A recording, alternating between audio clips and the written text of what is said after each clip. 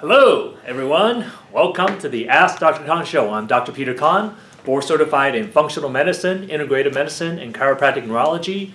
And welcome to the Ask Dr. Kan show. This is Monday, October 23rd, 2017. And every Monday, we bring you the Ask Dr. Kan show that give you information that's going to help you solve your health puzzle and help you get well and stay well. So today, we're going to talk about the three steps to reverse inflammation and to prevent and reverse autoimmune flare-ups. Okay, so a few weeks ago I posted a question, a poll. A lot of people asked, asked hey, how do I, you know, prevent or reverse autoimmune flare-ups? How do I get my inflammation to stop? And uh, so we're going to answer that question today. And these are this is the three steps in this inflammation uh, module that's going to help you. Okay, now a few weeks ago I revealed to you that there's a roadmap to healing thyroid, to healing autoimmune disease. And uh, the roadmap consists of multiple steps. What that means is, in order for you to heal your thyroid or heal your autoimmune condition, you have to follow a sequential steps, kind of like a combination lock.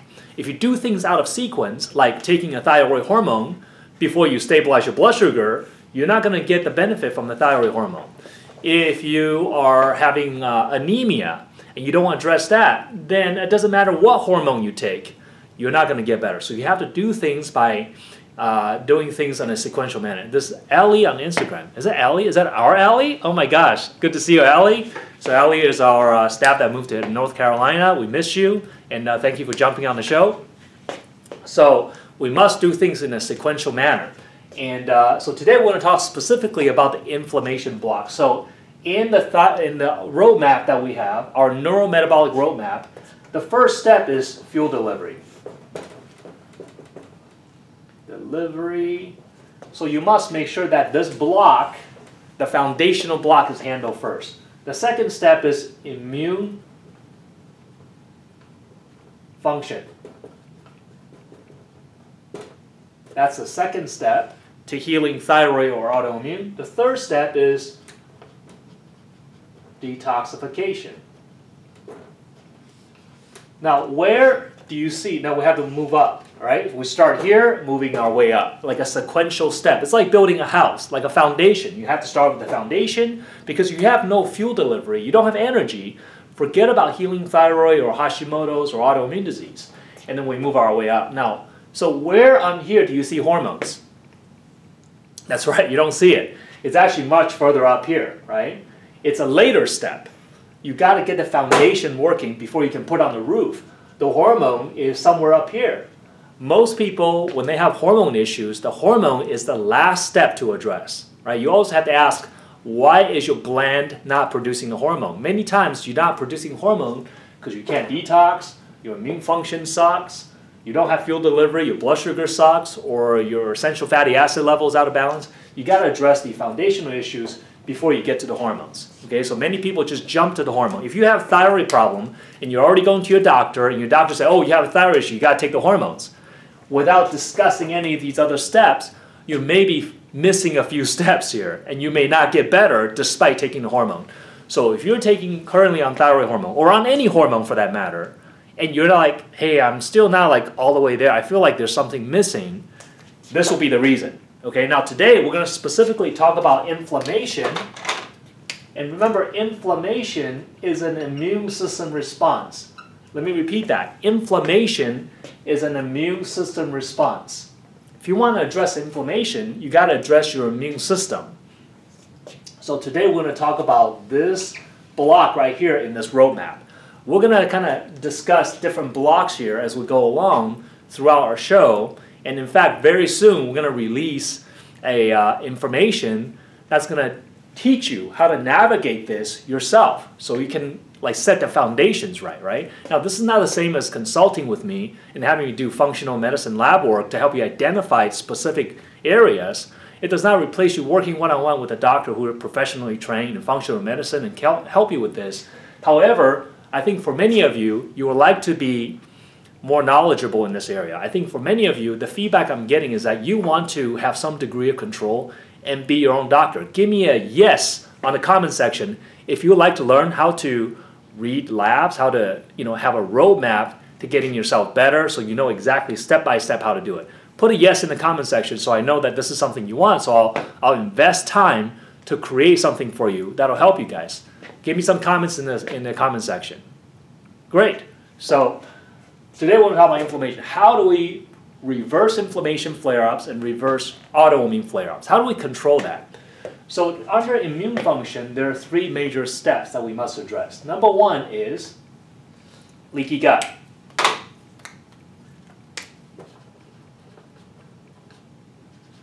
Know that leaky gut, even though you see the word gut, the site of origin of leaky gut may be in the intestinal or in the GI tract, but leaky gut is really a systemic inflammatory condition. It means it goes everywhere. There's no such, such thing as a local inflammation.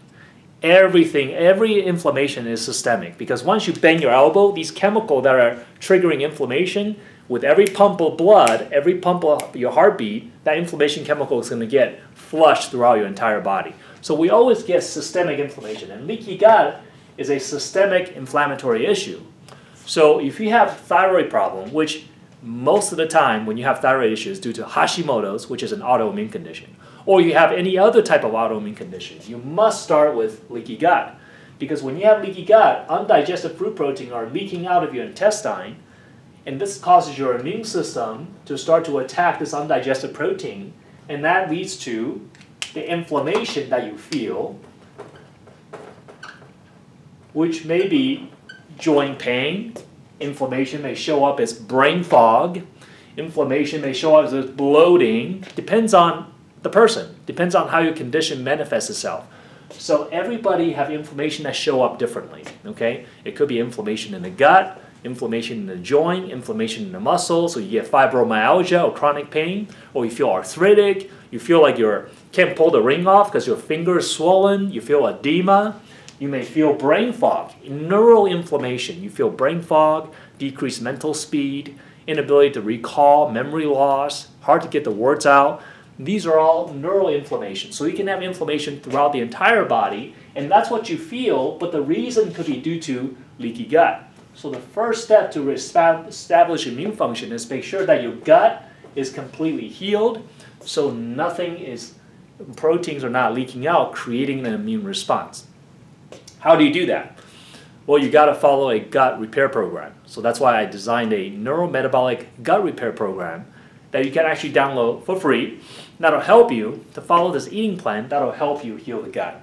Now, the most important thing I can tell you about healing leaky gut is that in addition to eating the food or cutting out the food and eating the right food, is also that you must heal the gut. So the example I give is if you throw a cigarette butt in the forest and you start a forest fire, once the forest fire is burning, how many more cigarette butt do you have to throw in the forest to keep that fire burning? Right? The answer is you don't have to throw any more cigarette butts. Once you start the fire, it's going to burn. That's kind of what leaky gut does. It creates gut inflammation. Okay, your gut, your gut is on fire. Your gut is on fire. And once your gut starts burning with inflammation, you no longer have to trigger it with the food that you eat. It's going to just keep going because your immune system in your gut is such that once you start this inflammatory process, it starts a cascade where it just keep burning and burning, just like a forest fire. When does a forest fire stop burning? When you put the fire out, right? With water or rain or firefighter put the, put the fire out. So you must put the fire out, okay? And the way you put the fire out is by using specific nutritional compounds, okay? And that's where supplement comes in. Because left to its own devices, if you just cut out the food, that doesn't necessarily heal the gut. You actually have to put the fire out. And the way you do that is by using specific things. Things like vitamin D3, help with leaky gut. Glutathione, help with leaky gut. Your amino acid like L-glutamine, help with leaky gut. Deglycerized licorice root can help with leaky gut. There's a whole list, right? So these, these particular compounds things that help with leaky gut from scientific research is all in, incorporated in a product called GI Resuscitate. This is probably one of the most comprehensive leaky gut support products on the market. It contains all the ingredients that are shown to help support leaky gut. You can find that at our online store at neurometabolic.supplements.com. And I recommend it. I've used it with thousands of clients, and we get results with that. D3 and glutathione, it can also be taken. Again, you can find it in our online store as well. So there's nutritional compound that must be utilized to support leaky gut. Otherwise, it takes too long, and you may not ever get there. Scott Barling, good to see you, my friend. Hopefully you're mending from your car accident. Just uh, very quickly. Okay, so leaky gut support. So we must follow a eating plan, and you can find it at askdrkan.com slash gut repair, and you can utilize these nutritional compounds to speed up the healing of your leaky gut so you can see results quickly. The second step to uh, preventing inflammation flare-ups and reversing them and autoimmune flare-up, you must address the T regulatory cell function. I talk about this a lot. And you know, this is something that it may sound kind of like fancy name, but I feel every one of you should know what a T regulatory cell is. It's kind of like you should just know like, oh, you have white blood cell and you have red blood cell. Like we all kind of know at a very basic level. You got to know a little bit more than that. You got to know that there's an immune cell, these immune cells called the T regulatory cells. There are specific type of immune cells that, as the name implies, regulate your immune function. In autoimmune disease, or when you have inflammation, your immune system is dysregulated. Your immune system is overzealous, it's attacking your body, and it can't stop in an autoimmune disease. When you're inflamed, that means your immune system is overzealous in its response. And when you have chronic inflammation, that's when the problem happens, like arthritis. The itis means you have chronic inflammation. Remember, inflammation is not good or bad, inflammation just is. It's a body response to something or injury or infection. But if you have an injury or infection that doesn't heal, then you're going to have inflammation on a continuous basis. That's when the damage occurs. So you've got to control that inflammation, and the T regulatory cells help you modulate, modulate your immune system. What does modulation mean? In immunology, modulation means we're taking out the highs, taking out the lows, so your immune system just goes like real steady like this. In a dysregulated, dysregulated immune function, your immune system is kicking up like an allergy, right? You get like all inflamed, and then your immune system just shuts down, and you get immune weakness, you get sick, you can't fight off infection, so your immune system go up and down like a roller coaster. That's not good for you. Remember, in everything in the body, you want to try to achieve homeostasis. That means balance. So you don't want your immune system to go up and down like this. You want your immune system to go steady like this. Modulation is where it will help your immune system to regulate itself, take out the highs, take out the lows. So how can you modulate the immune system? Again, using specific nutritional compound. A couple of things that I mentioned here for leaky gut does a lot to help modulate the T regulatory cells. Vitamin D3 and glutathione. That's like the shortcut, right? That's like the thing that's going to speed it up for you to help you heal better faster. So if you want to modulate your immune system, you say, hey, Dr. Kan, I have inflammation, I flare up. How do I control that? Vitamin D3, glutathione. Okay? Glutathione, there are many different forms. I prefer either the liposomal in a liquid, or I prefer the S-acetyl form of glutathione. So there's two different forms. You can find both of those in our online store. Now, which form is better? They're both in, about the same, in my opinion. However, uh, it's kind of like preference. If you just don't like swallow pills, then we may use the S-acetyl form because that's in the capsule form. Uh, if uh, you're kind of sensitive to taste and you don't like things that taste weird, you're picky, then the pill form might be easier for you to swallow. So really no difference. Sometimes the liposomal form is easier to high dose it because you just liquid, you just kind of pour it out into a spoon, you can take more of it. But this is crucial for autoimmune for T regulatory cell function, vitamin D3 as well. Uh, other things that can help modulate Treg cell function uh, is um, your butyrate actually. So butyrate can actually help. So this is called a short chain fatty acid. And short chain fatty acids are a specific type of fatty acid that actually works at the intestine level that help with intestinal cells to modulate themselves to help with intestinal inflammation and metabolism and help the intestinal cells heal themselves. So butyrate is a very important compound, and typically you get that from uh, bacterial fermentation by eating things that are beneficial for your probiotics to, to, to ferment against. So you want to eat fiber, prebiotics, uh, fermented foods, and so forth. Butter, if you're not allergic or sensitive to dairy protein, can also uh, contain quite a bit of butyrate for your body to ferment. Typically, we recommend grass-fed organic butter if you can tolerate it. But many people with Hashimoto cannot tolerate dairy, so that may or may not be a good thing for you to start out with. But these are just some of the quick things that you can do. If you just started out with D3 and glutathione, already you're going to be way far ahead of the game. Okay, so this is going to work, work on a T regulatory cell level. And last thing to help with immune function, this next block here, and we have going this way, is infection control. Okay? Because many times your immune system is dysregulated because you have an underlying infection that you don't know of. For example, many people that I'm finding uh, have an underlying small intestine bacterial overgrowth. SIBO. This is quite common. Another thing that's really common is chronic candida issues, which is yeast infection. This could be in the gut, but could be systemic as well. And viral infection is quite common actually in herpes family virus like Epstein-Barr virus, uh, herpes simplex 1, cytomegalovirus. These viral infections can also become very chronic, means your body just doesn't get rid of it. And that can just chronically stimulate your immune system because your immune system know you have an infection. It's constantly trying to kill these guys and what happens, your immune system can become overzealous or dysregulated or upregulated where it just don't know how to shut off anymore. When it doesn't, then your inflammation just goes, goes, goes, and that's why you're constantly feeling inflamed because you have an underlying infection that nobody's ever tested or addressed or taught you how to address it. So this becomes more uh, maybe testing centric, although there are certain things that can indicate you have SIBO with your clinical history. For example, if you bloat every time you eat, especially with fibrous or starchy food, then SIBO is highly possible. Uh, candida, you may have chronic fatigue. If you see, uh, you know, white-coated tongue, you have vaginal discharge in the female. That may indicate you have candida issue. With viral, again, the symptoms going to be very tough to tell. Chronic fatigue, adrenal fatigue, these are usually symptoms relating to viral issues, but certainly testing will may be necessary to identify which one it is so you can do specific things to help with that.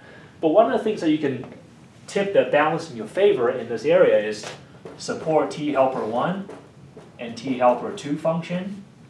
Again, that gets a little tricky if you have autoimmune disease because there are certain herbs that you can take that can push the T helper 1 system. These are the killer cells.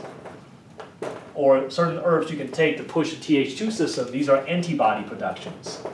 And you can easily take the wrong supplement and push your immune system out of balance and create more autoimmune flare up. So that may not be something you want to play with. So this is where a little bit of diagnostic testing might be very helpful. Or in the online program I'm going to create, I'm going to give you a lot of questionnaires that'll take you through this so you can self-identify if you have symptoms relating to these issues. Again, this is not a medical diagnosis or anything like that, but it's going to just an educational tool and an information tool to do a self-assessment so you know what you may be dealing with so you can seek out the right care or eat in a certain way that can kind of tip the balance in your favor. Okay? So again, to help with autoimmune or inflammation and autoimmune flare-ups, if you struggle with thyroid issues or you struggle with chronic inflammation, rheumatoid arthritis, autoimmune disease such as ulcerative colitis, anything like that, the immune function must be addressed because when you have autoimmune disease, you have an immune system disease, right? So if you have celiac disease, people think celiac disease because you can't eat gluten and your gut your intestine is being damaged. That is an intestinal problem. In fact, when you have celiac disease, you're referred to a gastroenterologist because you think it's a gut problem. But when in fact, when you have celiac disease, you have an immune system dysfunction. In fact, celiac disease produces more neurological manifestations neurological symptoms like ataxia, balance problem, neuropathy, depression, those type of things, than actual GI symptoms. So know that when you have an autoimmune disease, whether it's MS, neurological, or celiac, gastrointestinal, or thyroid, endocrinology problem, hormone problem, all of those problems are the same problem, which is an immune system problem because they're autoimmune disease, meaning your immune system is attacking your own body. Therefore, the focus of your management should be on the immune system, which involves these three steps. Again, there's other steps that must be addressed as well, but today we're specifically talking about this block. But that should help you to start to uh, affect the system. Now, along with this immune cells and uh, killer cell function here, other things that you can do that I want to mention because these are often, uh, you know, uh, very popularized is things like turmeric. So turmeric definitely can help, and it helps really at the at the tumor necrosis factor level. So there's another pathway here called the tumor necrosis factor alpha. And uh, there are certain things that can impact this tumor necrosis factor alpha, which also triggers inflammation. So we want to be able to downregulate or dampen that as well. And turmeric help with this spot right here, as can resveratrol. So a lot of time we use these flavonoid compounds, antioxidants, at this level, and then we use D3 glutathione at this level to together have a positive immune function. So these are some of the things that you can use. Turmeric, resveratrol, D3 glutathione to help with this level here. If you have leaky gut, we need to use GI Resuscitate to support gut function, along with a elimination diet to cut out all the food that may be triggering leaky gut for you. And then with infection control, you need to identify what type of infection you have, and that's what we do. We run functional medicine lab tests to help you identify these things so you're not guessing. And our clients uh, you know, experience great uh, progress when we're able to identify the root cause. And then there's specific things we do for each of those sections, depends on what type of infection you have. Uh, again, in the future, I'll be creating a program that will help you to do a lot of these yourself and perhaps to be able to help you or your loved one to get to the bottom of why you're not feeling well. So hopefully this helps you. I love you guys. Thank you for watching today's show. And just so you know, we have an autoimmune workshop next Wednesday at 5.30. And uh, you want to come, typically our workshop's on Tuesday, but next week is on Wednesday. It's a, a different day, so keep that in mind. And also, we're going to be the, at the East Valley Health Expo uh, on November November 4th. Uh, so I'll put a link to that event in the uh, comment in the post here, so you can click on it and see what the show is about. I'm going to be speaking at the expo as well two different talks in that expo, uh, one on thyroid, one on autoimmune. So please tell your friends and family about it. Have them come out to the expo. To I love to meet them, discuss with them uh, if they have any questions, and uh, deliver these information-packed talks that hopefully will just get the word out that let you know that there are things that you can do to help you get better. A lot of times with natural medicine, many of the stuff that's pushed out there is just folklore without any explanation for why things work. And my goal is to help help our audience to learn why things work instead of just what to do, but why they work. So that'll help you to become better consumers and help you to get yourself better as well. Again, uh, what I also want to tell you is that we uh, have a lot of people that's been referred to us lately from like hairdressers, from like massage therapists, because they watch and they're talking, telling their client to look us up because they just love our videos. So what I want to ask is if you know anybody who's just really struggling with chronic thyroid issue, chronic energy issues, chronic skin problem, digestion issues. They already been to like three, four different doctors, maybe try some natural stuff, nothing's working. Please send them our way. You'll be doing them a huge favor by sending them to someone who really cares, who really knows what they're doing, really knows what they're talking about, and we're gonna make we're just gonna take great care of them, and you're gonna be proud uh, that you send them to us. That you're gonna we're gonna make sure we do everything we can to make you be the hero and that you look good. So we take referrals. Please refer your friends and family who have issues, a health problem, or health challenges to us. We'll love to take care of them. And uh, usually we uh, have some type of thank you gift for referring people to us. So make sure you tell them that you sent them so we can track this stuff. Okay? Again, I want to thank you for watching today's show, and we'll look forward to seeing you next week at the Ask Dr. Kan show.